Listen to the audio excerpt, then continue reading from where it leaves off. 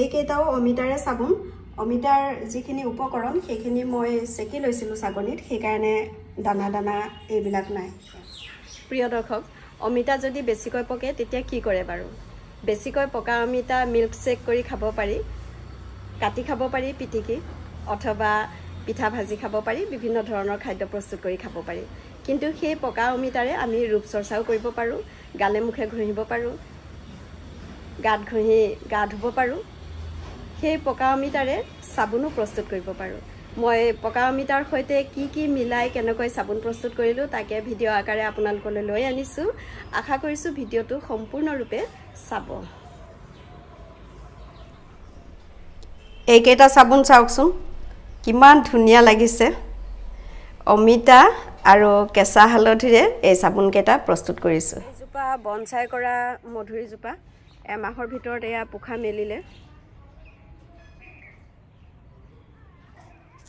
বনখিনি উঘালিম মই। বনৰ লগতে শাকো গজিছে এইবোৰ। শাকখিনি বাঢ়িবলৈ দি বনখিনি উঘালি দিম। এইজোপা ডেণ্ড্ৰভিয়াম এয়া চাওক। এইবোৰ ফুল আহিছে। মই এতিয়া তৰা ৰছীৰে বান্ধি দিলোঁ। মালভোগ খুতুৰা ঢেৰ শাক গজিছে। এই শাকখিনি যদি ৰাখি দিওঁ কেইবা সাজো খাব পাৰিম ছিঙি ছিঙি। সেইকাৰণে শাকবোৰ ৰাখি মই এতিয়া বনখিনি উঘালি দিম। প্ৰিয় দৰ্শক ৰূপাঞ্জলি ৰঙানৈ চেনেলটি আপুনি যদি প্ৰথমবাৰ চাইছে এতিয়াও যদি ছাবস্ক্ৰাইব কৰা নাই তেন্তে প্লিজ ছাবস্ক্ৰাইব কৰক। ৰঙা আখৰৰ ছাবস্ক্ৰাইব শব্দটো চুই দিওঁতে কাষতে যিটো বেল দেখিব সেই বেলটো এবাৰ চুই দিব তেতিয়া আমাৰ প্ৰত্যেকটি নতুন ভিডিঅ'ৰ ন'টিফিকেশ্যন পাই থাকিব। ৰূপাঞ্জলি ৰঙানৈ দুটি Facebook page Rupanjali Ranganoi Instagram যদি প্ৰথমবাৰ চাইছে এতিয়াও যদি লাইক আৰু ফ'ল' কৰা নাই তেন্তে প্লিজ লাইক আৰু ফ'ল' কৰি থৈ দিয়ক। তেতিয়া আমাৰ প্ৰত্যেকটি নতুন ভিডিঅ' আৰু ৰীলৰ আপডেট পাই থাকিব। বনচাই কৰা মধুৰিজোপাৰ পাত উলিওৱাৰ পিছত মই এতিয়া এই ডালকেইটা কাটি চুটি কৰি দিলোঁ। ছয় বছৰ ধৰি গুৰিটো ইমানটোৱে হৈ আছে। এতিয়া গুৰি শকত হোৱাৰ সুবিধা এটা হ'ল। আমাৰ ঘৰৰ অমিতাবোৰ পক ধৰাৰ লগে লগে আমি ছিঙি দিওঁ নহ'লে কেৰ্কেটুৱা আৰু চৰায়ে খায়। এতিয়া ঘৰৰ ভিতৰতহে পকিবলৈ দিম। এইজোপা অমিতা আগটো দুভাগ হৈ পিনে কেনেকৈ লাগিছে চাওক। এইটো এটা ঘৰৰে অমিতা গছৰ পৰা পাৰি অনা হৈছে এনেকৈ পকিবলৈ দিছোঁ। এয়া চাওক এফাল পকিলে এফাল এতিয়াও কেঁচা হৈ আছে। সম্পূৰ্ণ যেতিয়া পকিব তেতিয়া এফাল আমি কাটি খাম আৰু এফালেৰে চাবোন হ'ব। এই যে পানীত এনেকৈ ৰাখিছোঁ অৰ্থটো হৈছে এতিয়া গৰম দিন আহিছে পৰুৱাই খাব পাৰে সেইকাৰণে এনেকৈ অমিতাটো ৰাখি থৈছোঁ। ইয়াত পানী লৈছোঁ বাল্টিত এইটো এটা বাল্টিত পানী লৈছোঁ। প্ৰথমতে মই এতিয়া শিপা কাটি কাটি এইখিনি ধুই চৰিয়াত ভৰাই ভিতৰত সিজাম। আৰু এইখিনি কঠীয়ালৈ ৰাখিছোঁ। যিমান পাৰোঁ সিমান এনেকুৱাবিলাক পোখা মেলাবিলাক কঠীয়ালৈ ৰাখিছোঁ। কঠীয়া সদায় এনেকৈ ডাঙৰ ডাঙৰ হ'ব লাগে তেতিয়া ভাল হয়। আজিৰ দিনটো এইখিনি কামতে মোৰ পাৰ হ'ব আৰু। কেঁচা হালধিৰ শিপা কাটি মই ভালেই পাওঁ। বেপাৰীয়ে যিমান ধুই দিলেও যিমান শিপা কাটিলেও নিজে কৰিবই লাগিব। ধোৱাৰ পিছতো আকৌ যেতিয়া সিজাম তেতিয়াও আকৌ ইয়াৰ পৰা যিখিনি বোকা আছে সেই বোকাখিনি ওলাব। এনেকুৱা পকা সৰু অমিতা এটাৰ এফাল লৈ লৈছোঁ এইখিনি মিহিকৈ কুটি লৈছোঁ। এই অমিতাখিনি এতিয়া মই মিক্সিত বটি ল'ম। অলপমান কেঁচা হালধি এইডোখৰ দি দিছোঁ। উপকৰণ বেছি হ'লে ভয় লাগে কাৰণ যদি বেছি হৈ যায় তেতিয়াহ'লে চাবোন ঢিলা হৈ যাব। সেইকাৰণে চাবোন কিমান দিব সেইখিনিৰ হিচাপতে উপকৰণ দিব।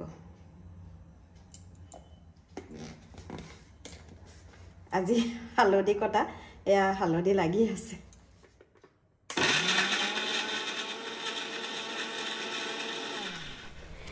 এইখিনি খুব ধুনীয়া হ'ল। প্ৰাকৃতিক ৰং। এইবিলাক চব নেচাৰেল কালাৰ হ'লে ভাল লাগে। এয়া চাওক খুব ধুনীয়া ৰং। অলপ যদি টান টান হয় তেতিয়াহ'লে চালি ল'ব পাৰি। মই কিন্তু চালি নলওঁ অলপ টান থাকিলেও থাকিব টুকুৰা টুকুৰা। দানা দানা থাকিলে মই ভালেই পাওঁ। এই টুকুৰা আধা কেজি চপ বেজ চপ বেজ বজাৰত কিনিবলৈ পায় কিন্তু অনলাইনতে কিনো। মই আধা কেজি নিদিওঁ আধা কেজিৰ আধা দিম। আধা মানে আঢ়ৈশ গ্ৰাম। মই আৰু অলপ দিম কাৰণ মোৰ উপাদান অলপ বেছি হৈছে। গতিকে এক তিনিশ গ্ৰামমান দিম। এইখিনি। এইখিনি দুশ গ্ৰাম থাকিলে এইখিনি তিনিশ গ্ৰাম। এইখিনি এতিয়া সৰু সৰুকৈ কিউব আকাৰত কাটি ল'ম। কাটিবলৈ বৰ ভাল লাগে। দুই তৰপীয়াকৈ চাবোনখিনি গলাব লাগিব। এতিয়া চাবোন গলোৱাৰ কাম। এইখিনি থৈ দিলোঁ। এইটো ভিটামিন ই কেপচুল। মই ভিটামিন ই কেপচুল দুটা দিম।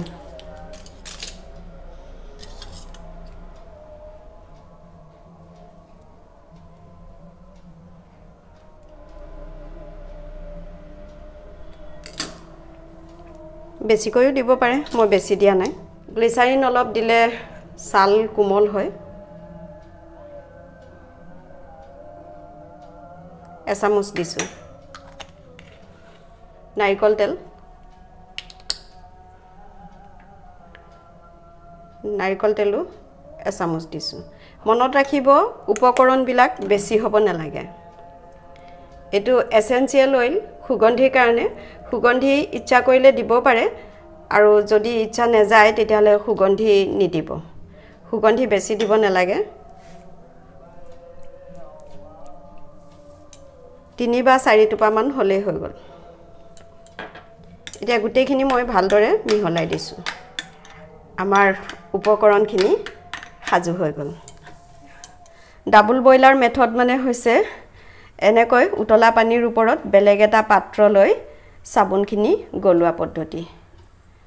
ইয়াৰ ওপৰত মই এতিয়া চচপেনটো বহুৱাই দিছোঁ। বেছি সময় নালাগে চাবোন গলিবলৈ। লক্ষ্য কৰি থাকিব আঁতৰি নাযাব। এয়া চাওক খুব সোনকালে গলিবলৈ আৰম্ভ কৰে।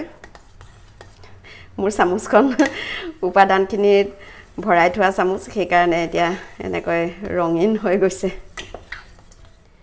এইখন চিলিকন ট্ৰে এইখন ট্ৰে অনলাইনত পোৱা যায়। এইখন ট্ৰেত একো তেল চেল লগাব নালাগে। কিন্তু যদিহে চিলিকন ট্ৰে নাথাকে তেতিয়াহ'লে এনেকুৱা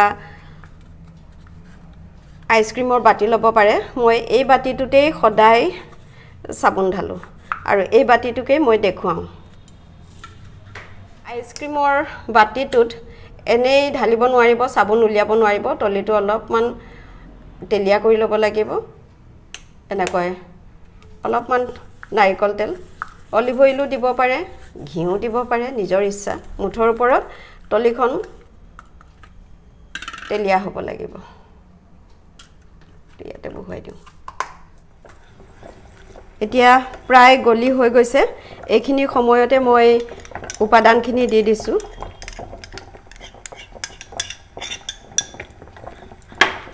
গেছটো কমাই লৈছোঁ। উপাদানখিনি মিহলাওঁতে মাত্ৰ পাঁচৰ পৰা দহ ছেকেণ্ডমান সময় লাগিব। এইখিনি সময় মিলাই দিলে হৈ গ'ল। বেছি সময় সিজাব নালাগে। পাঁচৰ পৰা দহ ছেকেণ্ড। এয়া হৈয়ে গৈছে। মই গেছটো অফ কৰি দিছোঁ। চাকনিত চাকি নোলোৱাৰ কাৰণে অলপ দানা দানা হৈছে। মই চাবোনবিলাক একেবাৰে মিহি হোৱাতকৈও এনেকৈ অলপ দানা দানা হৈ থাকিলে বেছি ভাল পাওঁ। মই সেইকাৰণে দানা দানা কৰি ৰাখিলোঁ। কাৰণ গাত ঘঁহোতে দানাখিনি লাগিলে সঁচাকৈ মোৰ ভাল লাগে। এতিয়া গৰমে গৰমে ঢালি দিছোঁ। প্ৰথমে মই বাতিটোতে ঢালিলোঁ।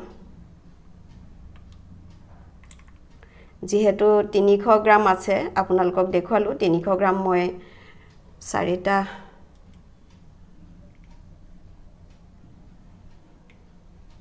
অকণমান সৰু এটা ইয়াত দি দিছোঁ।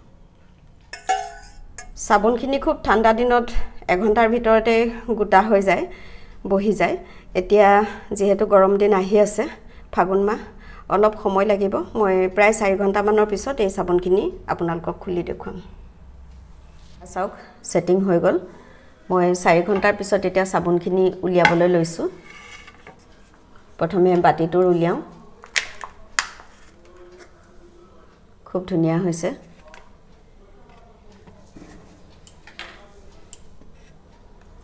অকণমানিটো উলিয়াইছোঁ। এইটো মই গা নুধোঁ এইটোৰে মই ফেচ ৱাছ কৰিম।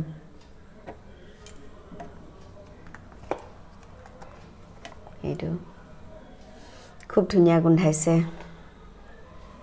অকণমানিটো ভিতৰত থওঁ। চাবোনকেইটা এনেকৈ যেতিয়া উলিওৱা যায় তেতিয়া মনটো খুব ভাল লাগে। খুব ধুনীয়া লাগিছে। অমিতা আৰু হালধিয়ে যে ইমান ধুনীয়া ৰং উঠিব ভাবিবই পৰা নাছিলোঁ। এইবিলাক অমিতা টুকুৰা টুকুৰা হৈ আছে এইবিলাক গাত ঘঁহোঁতে ভালেই লাগে। এতিয়া কলেজলৈ ওলাবলৈ হৈছে কাম এৰিব লাগিব। এইখিনি হালধিৰ বাকলি চাকলিবিলাক যিবিলাক আকৌ পিছত লেতেৰা অলপ ওলায় সেই লেতেৰাবিলাক ইয়াত জমা কৰি থৈছোঁ। ইয়াৰ তলতে এইখন বঠিখন নহ'লে কোনোবাই গছকি যাব আৰু এইখিনি ৰাতি ৰাতি শেষ কৰি দিম আৰু আজি ৰাতিৰ ভিতৰত শেষ হৈ যাব। মোৰ এই অৱস্থা। হাত যিমান ধুলেও এই অৱস্থা। প্ৰিয় দৰ্শক কেঁচা হালধি আৰু পকা অমিতাৰে প্ৰস্তুত কৰা চাবোনৰ ভিডিঅ'টো যদি ভাল লাগিছে তেন্তে লাইক কৰক শ্বেয়াৰ কৰক আৰু মতামত দিয়ক। আপোনালোক কুশলে থাকক। আকৌ লগ পাম নতুন এটি ভিডিঅ'ৰে। আজিলৈ মই ৰূপাঞ্জলি বিদায় ল'লোঁ। নমস্কাৰ।